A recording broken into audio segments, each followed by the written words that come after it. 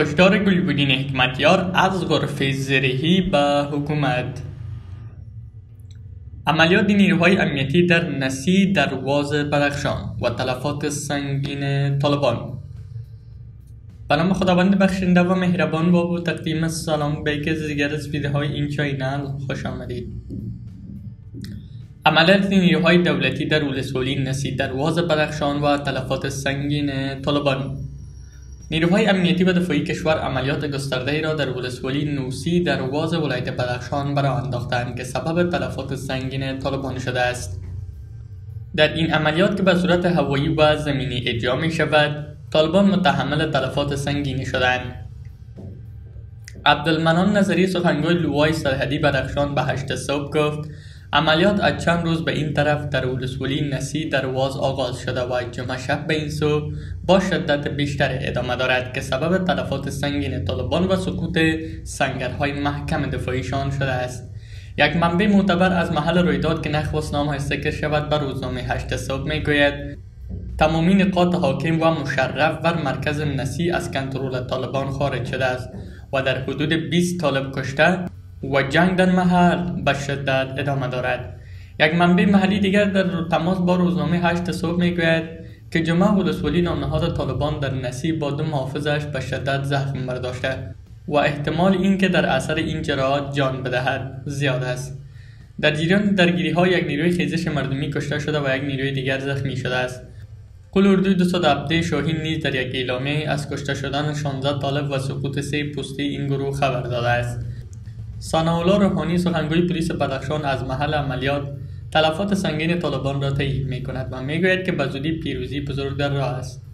نسی از مناطق استراتژیک در واز بوده و در های جوی و شیریان این ولسوالی از مدتها به این سو به مرکز فعالیت های تروریستی مبدل شده بود. جنگ در محل به شدت ادامه داشته و نیروهای امنیتی تا محل به نام دو پیشوی کردند.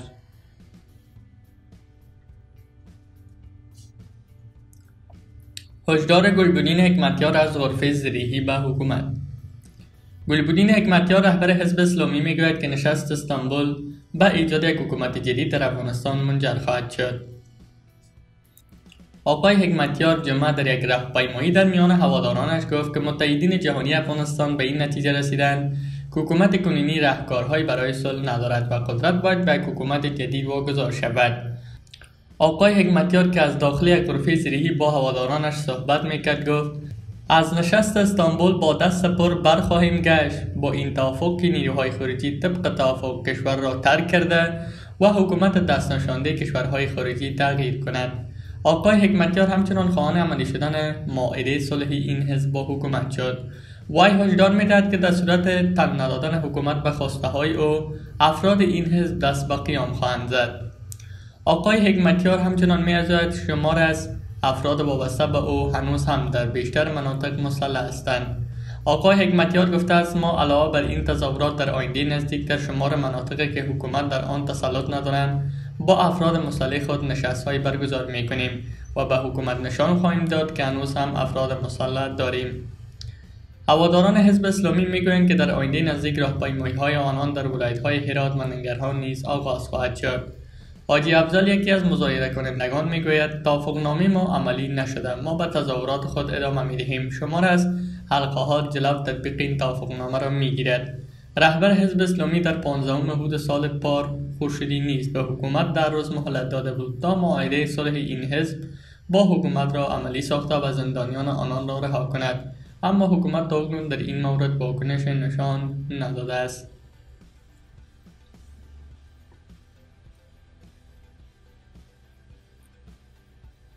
نتیجه بازنگری طرح صلح امریکا به زودی به شورای مصالحه ملی فرستاده می شود فردا قرار است که طرح وزارت دولت در امور صلح دیدگاه های جمع شده را درباره پیشنویس طرح صلح امریکا به کمیته 15 نفری شورای مصالحه ملی بسپارد. به گزارش اسپوتنیک به نقل از طلوع‌نیوز دو عضو شورای مصالحه ملی می‌گویند که قرار است فردا شنبه وزارت دولت در امور صلح دیدگاه های جمع شده را درباره پیشنویس طرح صلح امریکا به کمیته 15 نفری شورای مصالحه ملی بسپارد الله سلیم یک عضو شورای مصالحه ملی می‌گوید که کمیته بررسی کننده پیشنویس طرح صلح امریکا که متشکل از 15 عضو رهبری شورای مصالحه ملی است از سوی محمد یونس قانونی معاون پیشین رئیس جمهور رهبری می شود و گفته آقای سلیم پس از توافق تمامی اعضای شورای مصالح ملی درباره نتیجه بازنگری این طرح حکومت آن را در نشست ترکیه مطرح خواهد کرد. نشست ترکیه قرار است تا چند هفته دیگر برگزار شود.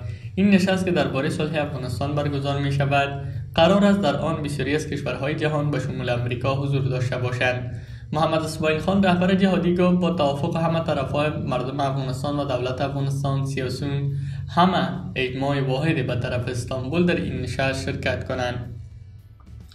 شورای مصالحه ملی می‌گوید که در کمیته بررسی کننده پیشنویس طرح صلح امریکا حامد کرزی رئیس جمهوری پیشین حمدالله محب مشاور امنیت ملی رئیس جمهور محمد حنیف ادمر رئیس وزیر امور خارجه کشور و حتی محمد نور حضور دارند. شهزاده مسعود مشاور رئیس جمهوری پیشین بیان داشت انتظار می رود که در نشست فردا همه طرف ها شرکت کنند. رئیس جمهوری پیشین در هر تلاشی که برای صلح بوده شرکت کرده و در این نشست شورا نیز شرکت خواهد کرد. همزمان با این آیت مذاکره کننده جمهوری اسلامی افغانستان طالبان و نمایندگان ایالات متحده آمریکا در دوحه سرگرم رایزنی درباره آجندای نشست ترکیه هستند. غلام فاروق مرجو عضو هیئت مذاکره کننده جمهوری اسلامی افغانستان بیان داشت. بحث و تبدیل نظر میان نمایندگان کشورهای امریکا، ترکیه و قطر به شمول سازمان ملل متحد و کشورهای حامی روند صلح افغانستان با هیئت مذاکره کننده جریان دارد.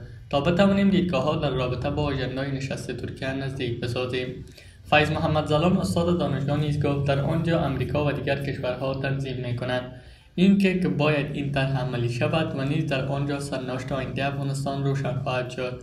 با این همه قرار است وزیر خارجه روسیه و زمین کابلوف نماینده این کشور برای افغانستان در هفته پیشرو برای بحث درباره مسائل منطقه و صلح افغانستان به اسلام آباد بروند رئیس مجلس نمایندگان پاکستان نیز در دیدار با سفیر افغانستان در این کشور گفته است که ثبات در افغانستان منطقه را با ثبات خواهد کرد و پاکستان از روند صلحی که به مالکیت افغانان باشد پشتیبانی می کند.